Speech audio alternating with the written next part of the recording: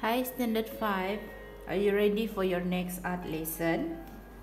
Okay, for today's art lesson, you need to be able to produce a picture of um, a scenery during a night time near the um, the ocean or at a place where there is a lighthouse at that area and then you also need to include the textures of the sky the stars and also the moon as well as the textures of the ocean and the um, things near that area. Okay? So please prepare your crayon your watercolors your brushes and also your drawing sketchbook. Okay? If you don't have your sketchbook with you that's okay. You can use your um, A4 papers as well. Okay right. So let's start. If you're not confident to draw um, straight away by using your crayon you can start with your um, pencils and rubber first or else you can just start straight away with your crayon. Okay? So as I have taught you before this or last time you need to start by drawing or sketching the things that you see first or in front of you okay? The first thing that you see and after that you can sketch or draw the things that you see behind the first thing okay?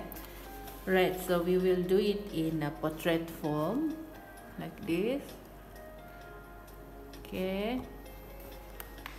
Okay let's start with drawing the the lighthouse first I will start by using my crayon.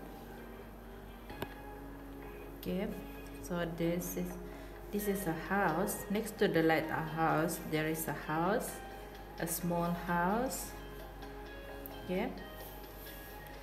And you can draw the roof first and then draw the body of the house. Okay.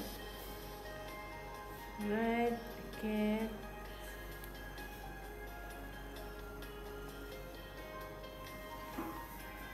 right. Next you can draw the lighthouse by using any color that you want but I think I'm going to use red color. Okay. Draw your lighthouse. You can start with the shape of the cylinder first. A cylinder lighthouse. This is the top of the lighthouse it, it goes down and become bigger and bigger okay and then like this okay? And on top here is the watch tower okay? The tower where people can go up here and then watch um, the sea or they can see um, they can watch or observe the safety of the sailors and people or fishermen okay and what color should I use? Maybe I would be using um, still well, let's use the red color. Oops. Okay. Alright. So this is the top of the tower. Then you can draw something like this. Okay? Alright. And then there is an antenna on top there. Okay. After that take your yellow color. You can put some um, you can draw the yellow over here. Color this part to show that there are lights coming out from here. And also you can do something like this okay? Something like this uh, okay. Like this okay and then shade it with the same yellow color.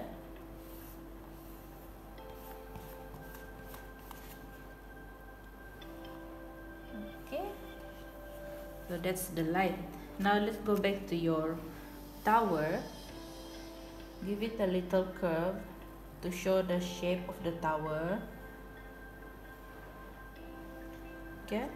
And then shade it with the red color alternately red white red white. Okay. Okay what else? Um, you can give more details to this house later on. Okay let's move back to the house. At this house maybe you want to put some stones or um, the roof of the house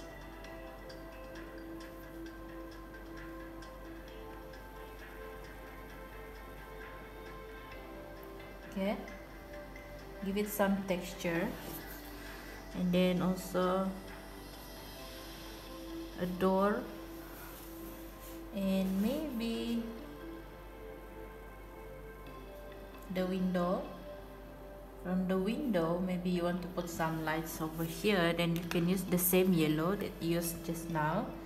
And you shade it with yellow color. Okay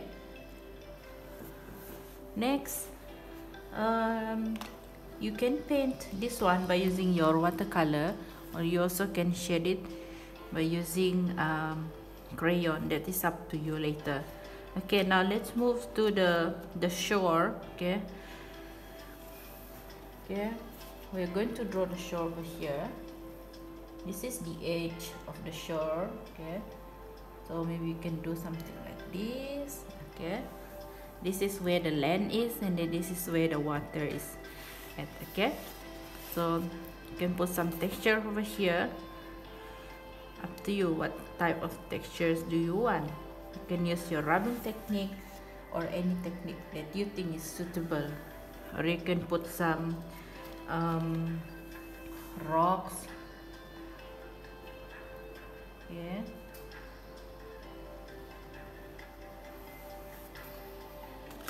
okay okay and then all the way over here. And then next one let's go to your sea the sea color um, you can do it in light blue or dark blue. But because this is a nighttime scene you have to put the sky in dark blue so we're going to do this the sea in light blue instead of dark blue. You separate them by giving them one line like this. Okay? So over here will be the sea later and on top here is the the sky. Okay. So for the sky give it some textures of the star just give some random dots over here. You can use white color or yellow color or orange color okay? And maybe over here you want to put the moon. Give it a white moon color here. Then you can shade it with the same white color. This one. And take your yellow.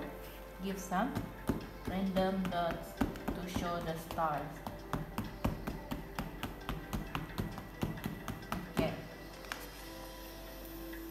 right for yours um, sea you want to give textures to the ocean so you can give some wave lines.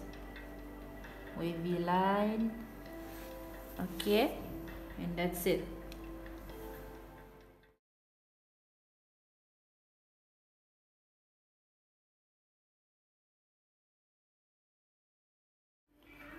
okay because the moon is over this side just now there will be some lights coming from the moon and there should be some shadows over here. So I would put this side a little dark than the rest of the area okay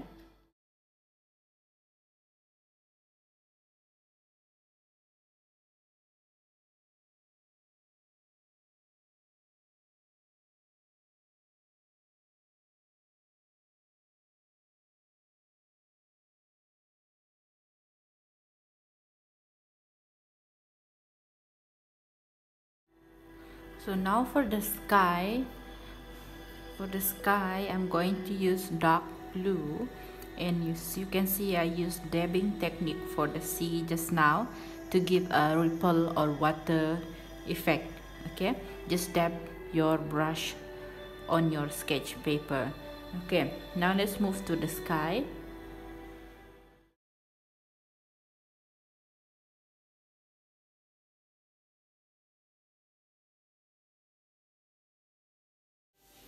okay so what I'm doing right now is that um, I'm trying to use less water, uh, watercolor so I just dip my watercolor in water so that it become um, a little watery to give the um, this effect. And then you just do the dabbing technique.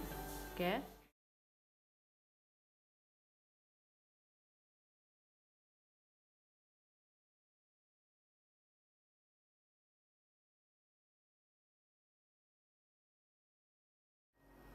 okay so over here we need to create a visible line between the ocean and the sky. So you take your blue color just now and then just draw a light line between those two so that people will know where is the end of the sky and then where is the end of the sea okay.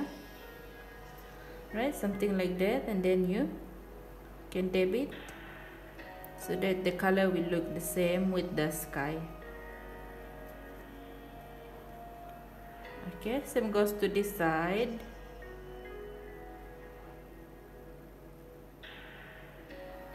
Right there you go. Okay. Right now you can try with uh, your own artwork. See you next week. Bye